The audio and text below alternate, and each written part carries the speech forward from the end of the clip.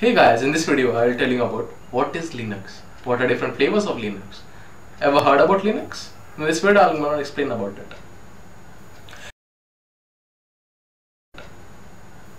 Linux is an operating system. You may be uh, using different operating systems like Windows, Mac OS, Android. Operating system is what you see on a screen. All the icons, folders is operating system. It is the user interface. Earlier there were no operating systems.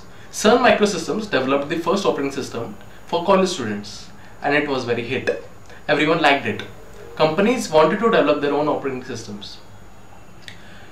A guy called Bill Gates, he developed DOS for IBM and he later opened his company called Microsoft and the first software and the first OS was Windows NT which was a very popular hit.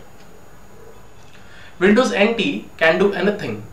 It was very reliable, it was very user friendly, but there were some issues. It has some restrictions and some users didn't like it. A guy called Linus Torvalds developed his own system called Linux. In Linux, it was free. You can edit the source, you can add the source. All the developers were interested in it. They shared their knowledge and developed a system and it was very popular hit because it was free of cost. In colleges where there are many systems, Linux are used, Linux is mostly used because of it's free. But if you are using Windows, you need to have a paid license. But in Linux, you have to do nothing. Just install the ISO file and enjoy.